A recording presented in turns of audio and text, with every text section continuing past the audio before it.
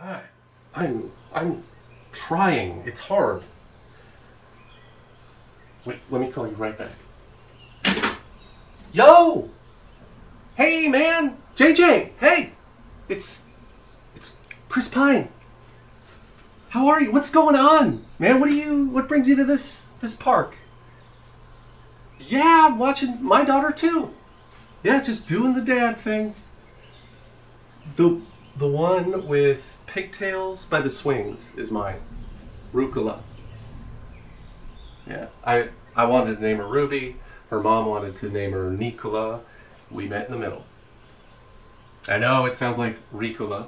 So every time I call out her name, it sounds like I'm trying to do an impersonation of the the Ricola guy. uh, uh, how about what about yours? An anathema. Anathema. Okay. Interesting name. This is this is great, isn't it? I, I, I haven't seen you since we we did the Star Trek Beyond. No, no, no. We worked together on Star Trek Into Darkness. Justin Lin directed Beyond. I always get those two mixed up. Anyway, who the fuck cares? We're we're both friggin' parents now. Our daughters are, are climbing the. Hey, hey, hey! No, no, no! Get down from there, Rucola. Don't need a Ricola. I'm not sick. anyway, parenting. Am I right? oh, you're not J.J. Abrams. Oh God, I'm. Oh my God, I'm so sorry. My bad. Oh wow, I feel so stupid.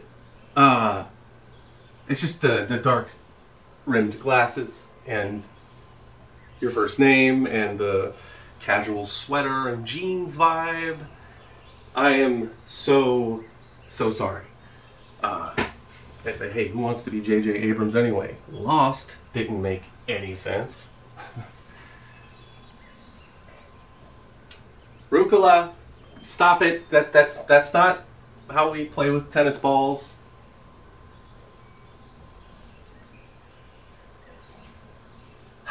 Um, I'm sorry. This is weird, but uh, I'm not actually. I'm not actually Chris Pine. I, I just sort of made that up. Um, it's this this whole being a dad at the park thing in Brentwood of all places. I'm just so not good at it, and my wife said to overcome my social anxiety that i that I should I should try on different personalities, and uh, I, I guess I, I got a little a little carried away this time. So um, I'm actually the musician Beck. Kidding. Uh, I'm, I'm Tom. I live in Glendale, and uh, I work in tech. I don't know how to start conversations anymore. Uh, I haven't made a new friend since Mike Filer uh, when I was a junior in high school. And uh, and as a dad, all I want to do is geek out on sleep schedules and German goat formula. You know, so it's it's hard to introduce yourself to to someone new when when you're like thinking, hey, I wouldn't want to be friends with me, right? Oh, Ricola, it's fine. It's, Daddy's fine. It's just Daddy's making a new friend. Uh, you you wouldn't want to get ice creams from the ice cream truck. Yeah, me neither. No, I was not going to suggest we both have a king cone. That'd be weird. That'd be weird. Oh, well, nice hanging with you, JJ. Uh, Finkelstein? Um, maybe I'll see you again at, at this park and our, our, our kids could, I don't know, have a play date and hang by, by my pool. Just kidding. I don't have an Olympic sized swimming pool. Um, And by the way, I'm not totally convinced you're not J.J. Abrams. Okay? I think you're just saying that because you wanna you wanna brush me off or whatever, which is fine. That's fine. We'll we'll make friends with somebody else. Okay? Right, Rook, Rooks, Rukala.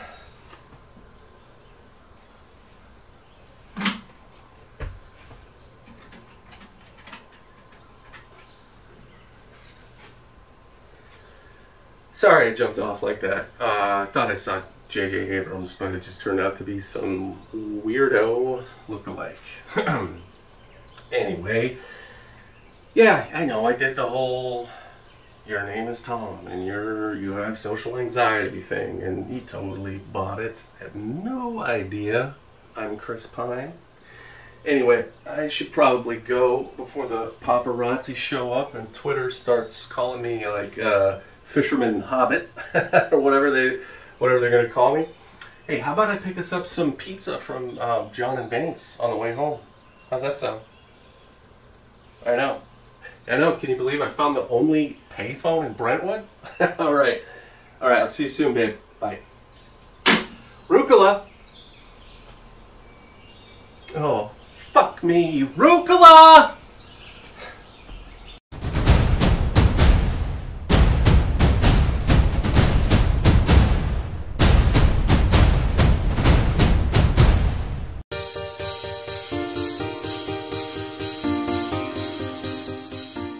All of your best friends are going to be in this program. All of them. Gift that keeps on giving. Be messy and be crazy and have fun. You really can push yourself to do amazing things in such a limited period of time. The best art needs limitations, and the greatest limit of all time is time. Actors, directors, writers, producers, and composers that are changing the game in theater, film, and television. With artists that are as kooky and crazy and imaginative and as go for it minded as you are. And those connections extend to collaborations I have today, and I am so grateful for that experience. Hearing from other artists and like more established professionals was just really useful. It's really an experience that challenges you as an actor, director, playwright, whatever you're doing, producer, and allows you to experience that thrill of art making in just the best form with some really great people. It's about being bold. It's about challenging yourself. It's going to teach you the lessons that you'll be able to take with you through every audition